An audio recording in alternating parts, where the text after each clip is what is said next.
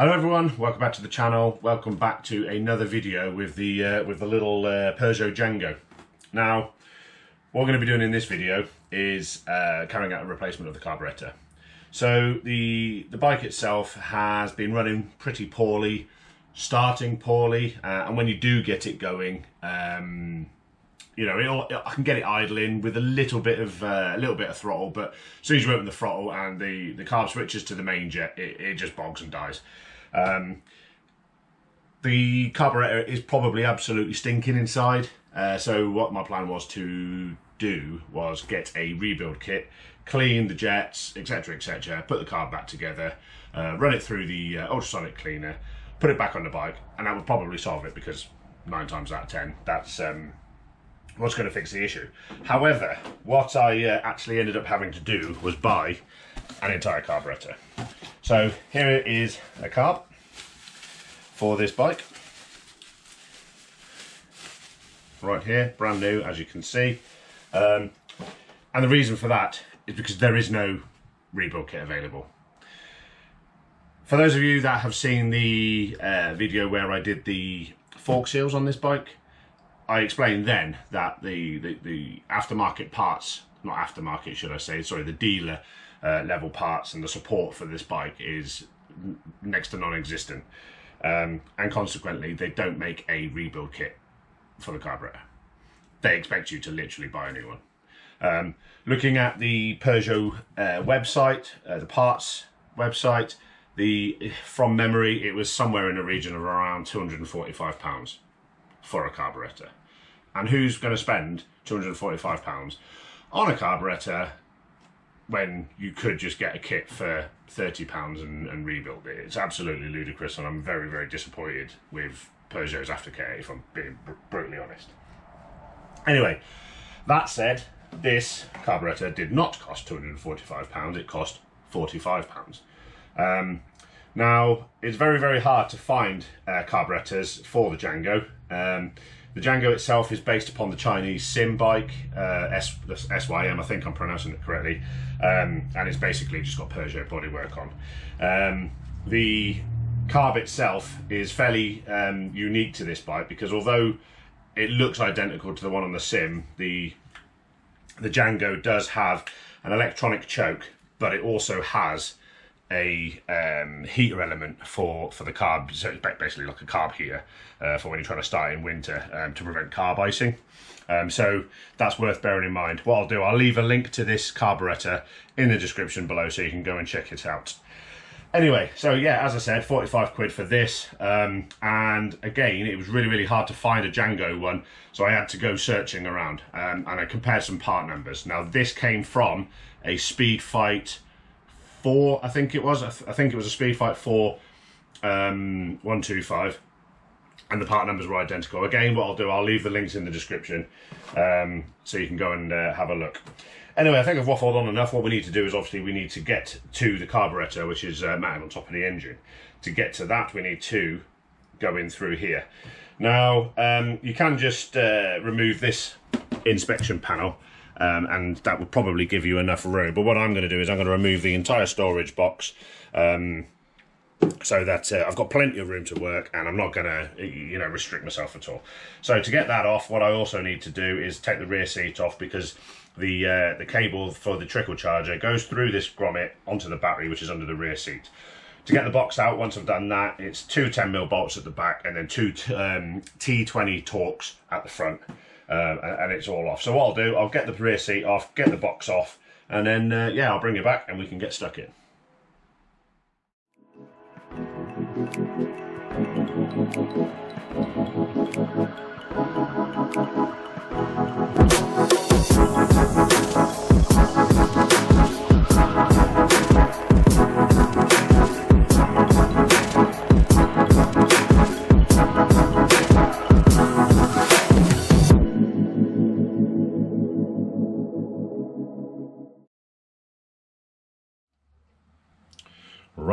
As you can see, with all of this off, you can see how much access we've got. Uh, you know, we, we, have got plenty of room to work here. And here is the carburetor that we're going to uh, obviously remove. Um, now, with the new one, we've got quite a lot of pipe work um, with it, um, right up to this union here. Um, but what we'll do is, as we remove things, fit the new carb, we'll, we'll see what we need to retain um, on the bike and what we're getting that's new with the new carburettor. So the electronic choke, um, the connector for that is just here and we'll be able to disconnect that quite easily. We've got fuel lines, we've got a few electrical connections. Um, obviously we've got the clamps for the inlet and then the uh, inlet track that goes into the cylinder, uh, the cylinder head. Um, so yeah, we've uh, we've got plenty to be getting on with. So yeah, we'll uh, we'll start by disconnecting things such as the throttle um, and uh, and yeah, and the electrical connections, and then we should be able to pull the carb out quite easily. Right, first place I'm going to start is with the uh, with the throttle cable. So to remove it, all we need to do is rotate the throttle linkage, pull the cable off, and it'll just pop out like so, and then we can let the let the um, let the throttle reset itself on its spring, and there we are. That's it disconnected there. What we need to do now, though, is just undo the locking nuts and then we should be able to wind this nut out all the way just like so and there we are that is the throttle cable removed from the carburetor we can tuck it out of the way just like so okay so now what we've got here is a load of electrical connections. Now these should have been um, tucked away, like there's a little clamp here look, which isn't really holding anything. They should have all been tucked out the way. There's another one just here, another little clamp which isn't really doing anything either. They should have all been underneath that. So, this one here comes down to the, uh, to the carb heater. And it's literally just one bullet connector, one spade connector. We'll move that over there out of the way. Now, the uh, electronic choke, simply push down, pull it apart, and there we go. Really, really simple stuff so far. So this is obviously going to come out with the carb.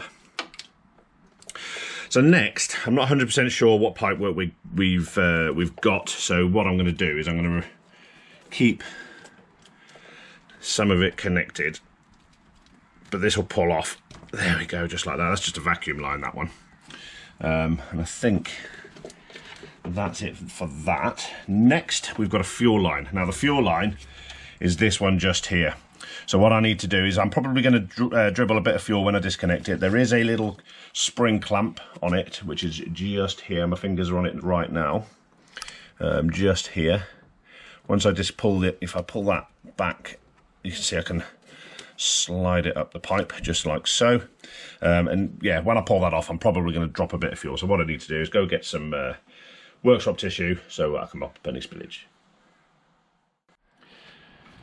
Right, with tissue, I'm just going to stuff it down there to catch any spillages, and then I should just be able to pull the pull the pipe off quite easily. And to be fair, there's absolutely no fuel coming out of it. The bike hasn't been running over a while anyway, so um, yeah, it's probably all uh, drained back to the tank. The uh, the vacuum, um, the the fuel pump on this is vacuum operated anyway, so it only operates when the engine's um, running, uh, physically running. It's not just um, it's not an electronic pump um, that comes on when the ignition's turned on. Um, I believe the EFI models will be completely different, um, but obviously we're working with a carburetor model because that's the uh, that's the aim of this uh, the aim of this video. Right. Okay, so that's all the external connections uh, removed. Now what we can do is we can get on with actually removing the two clamps that hold the carburetor on.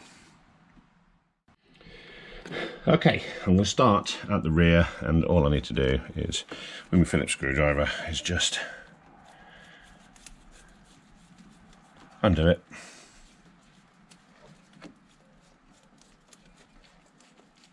Open it up as wide as I can.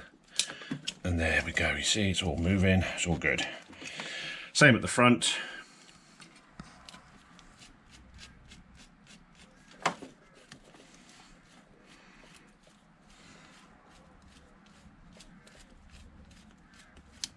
Open it up nice and wide.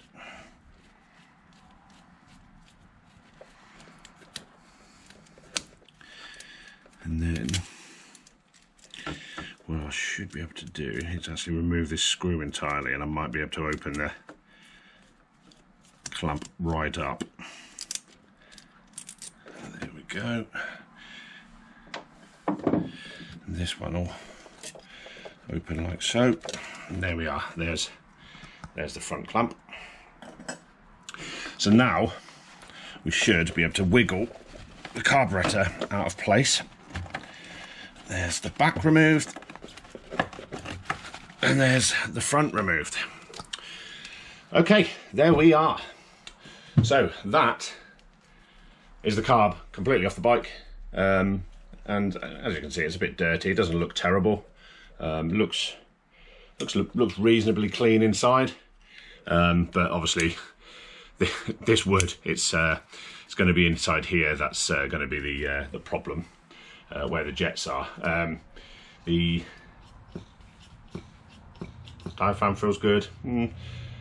Um, so yeah, so this is um, this is a carburetor made by Deni D-E-N-I, and this is a DPD 24J. So I was hunting around for absolutely ages trying to find the uh, the correct carburetor for this, and I couldn't find the DPD 24J. There was loads of other variations of it, um, but it was it's finding one with the uh, with the card the carb heater circuit. Um, that was the uh, that was the main challenge. I could find plenty of carburetors that would um, you know that would have fitted and it probably worked, but um, it would you know it wouldn't have been the correct the correct item for this bike.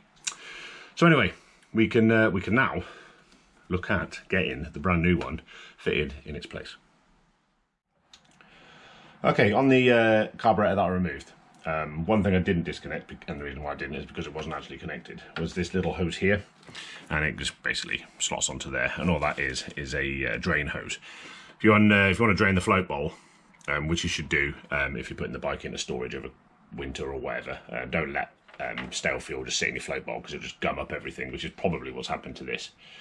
Um, yeah, if you undo this screw, what will happen is it'll allow what's in the float bowl to drain out through this little nozzle here down the pipe, and then that pipe goes down under the bike um, where it'll just drain onto the floor or, or onto into a tub or whatever it is you, you've uh, drained it into. Um, the brand new carburetor, however, comes with a new hose. So this one's no longer required. So it does go down the side of the engine. There is a little, there is a little clamp um, that holds it in position just to keep it out the way. I'm not sure if you can see that just there with a little screw on it. I'm pointing my finger at it right now. I'm not sure if it's showing up or not. I don't have a torch to hand to be able to show you. But what I'll do, I'll um, remove this pipe out of the clamp. Um, and then, uh, yeah, we'll um, obviously no longer require this one. So um, I can, uh, you, yeah, uh, basically throw this one in the bin because the, uh, the new carb came with one. So anyway, uh, without further ado, let's get the new carburetor installed. Okay then, on the new carb, let's look at what we have. So if we undo all of this hose and see what we've got here. Okay, so need to take the little twister off. Okay, here's the hose I was talking about, here's the new drain. Um, obviously that'll go down to the bottom of the bike um, for for draining the uh, the float bowl. Now this um, this carburetor, as I pointed out before, um, doesn't um, on the old carb doesn't have any of the numbers or uh, serial numbers, etc. This is a uh, aftermarket carburetor, um, but uh, it's probably made in, in China or somewhere like that. But when you consider that the one that we've taken off was also made in China, because this is actually a Chinese engined bike, um, I'm, I'm, not, you know, I'm not expecting it to uh, cause any real issues. Um, that's for sure. So, yeah, um, what we need to do, take off all the blanks, such as that, the fuel inlet, pop them into the box. Um, and yeah, now we can uh, look to install it onto the bike. So if I get the, the back in first, there we are. And then the front pops in like so, and you can see there's little slots in the inlets, both at the front and the rear. There's little slots, and what they do is they'll engage with the castings on the carburetor. And here we are. So now, now that that's in place, we can get the clamps back on.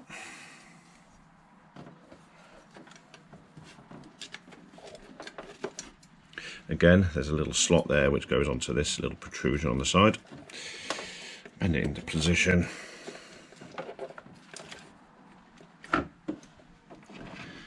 Pop the screw back in that one.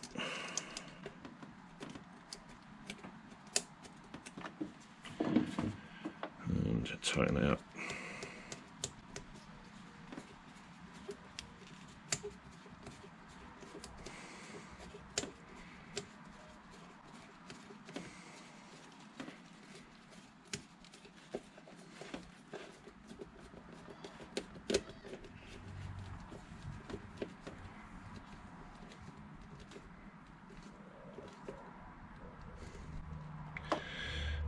Tight.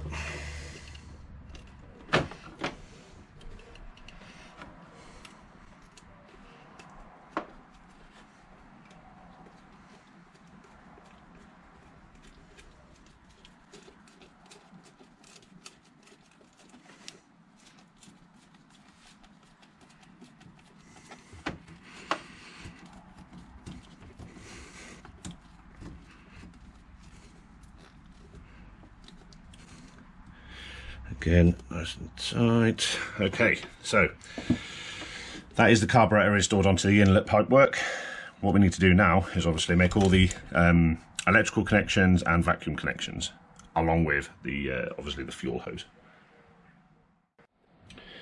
Right, what I've done here on this vacuum line is I've made some slight adjustments to it and I've turned it around because it was coming uh, the other way around.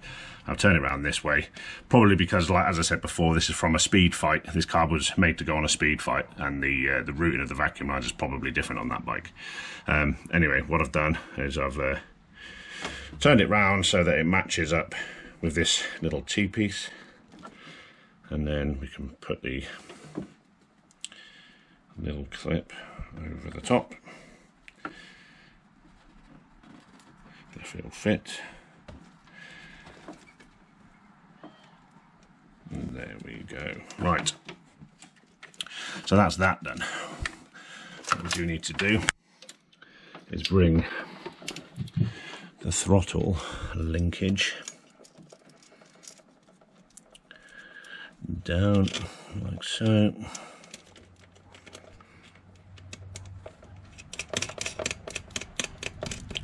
And knock it up to touch.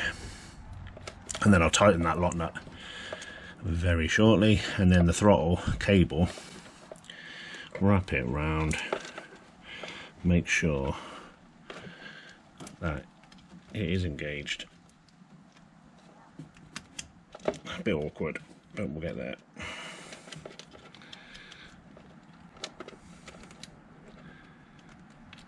It's not quite engaged correctly there. There we go. And that's that sorted now there is a little bit of play in that, so we do need to adjust it. Take some of that out. There, there will be a specification in the book for throttle free pre-play. I'll have to I'll have to check that later, but I'm not too concerned about it now. It'll be fine to get it running. And if we flick the throttle on the handlebar, there we go. We can see she's working fine. Right, next we'll do the um, we'll do the carb heater and the fuel line. Okay, the fuel line on the carburetor is on this side of the bike, which you can see on the old carburetor just there. So that's where this hose needs to go to. So I'm going to plug it in. As I said, it is vacuum operated when the uh, when the bike cranks. Now, obviously, this, this carburetor is going to be absolutely bone dry. um, and as a consequence of that, it uh, it may take a little while for fuel to come out. So um, yeah, it'll uh, it'll crank for a while before we actually get it to fire up. Um, but uh, yeah, it'll go. It will go eventually, especially with some nice fresh fuel. Carb heater connector there, just like that. And then what I'm going to do, unlike the way it was before, is I'm going to stick it underneath this little cable clamp, just like so. And there we go. Right then, next what we need to do is the carb heating uh, cable, which is just here. Can't get it wrong because you've got one spade connector and one bullet connector. Spades on.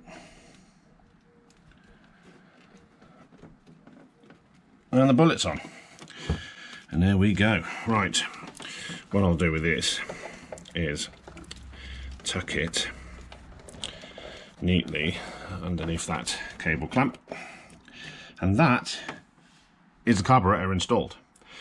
Now what we need to do is obviously we need to get it running. So what I'm going to do is uh, I'm going to make sure that there's a nice fresh fuel in the tank. And then uh, yeah, it's uh, it's going to take a little while to crank it. So I'm not going to sit here forever cranking, but um, yeah, we'll uh, we'll we'll get it fired up, and then uh, hopefully it'll rev nicely uh, when we when we twist the throttle, um, and everything works as it should. So yeah, let's give it a bash. Right, okay, so uh, what I've done, I've spent the last hour off camera um, sorting, the, sorting the fuel system out. What I've done is I've drained all the old fuel out. Took a little while to get it all out, um, but that's all uh, been removed from the tank and I've put um, a couple of litres of fresh fuel in there, probably two, maybe three litres um, of fresh fuel in the tank now. So the fuel that's in there is, is you know, bought within the last couple of days. Um, so we, we know that um, fuel isn't going to be an issue. What I've then done is um, I've uh, put the battery back in and I have, because um, well, the battery was on charge. I, I wanted the battery to be fully charged uh, because I wasn't sure how long we were going to have to crank the bike for um, to get it to, to get it fired up. Um, but what I did was I cranked it a few times um, just to make sure that the uh, fresh fuel went through the uh, fuel pump and up to the uh, up to the pipe going into the carburetor. Um, I got fuel out at this point, so uh, I know that we've got fuel up to the carburetor now. So now, uh, what we need to do is obviously we need to get that fuel into the float bowl, and then once it's in the float bowl, it'll then go up the jets, and hopefully the bike should fire. So what we need to do is turn on the ignition. Now on this bike, you have you do have to um, hold the brake in in order to fire it uh, fire it up.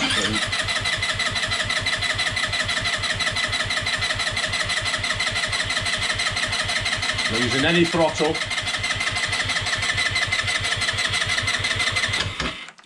Just going to crank it a few times like that, and basically what I'm going to do, probably no more than 20 seconds each go, because I don't want to, I don't want to damage the starter motor.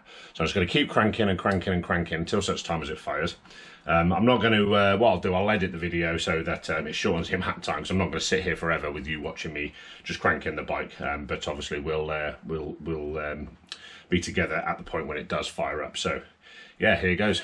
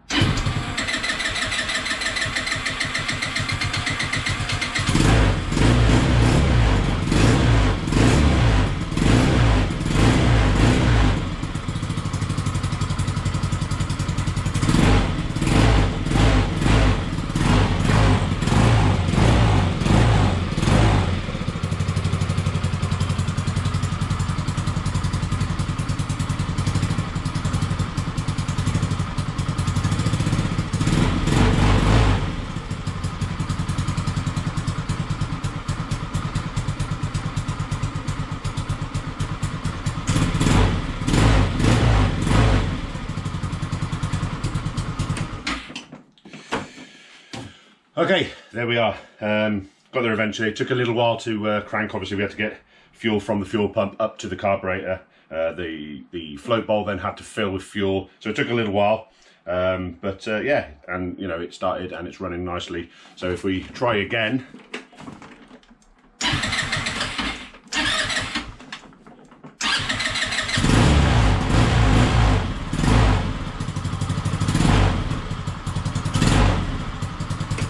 yeah, absolutely spot on. Um, I may need to adjust the idle ever so slightly, but I can do that. Uh, I can do that later.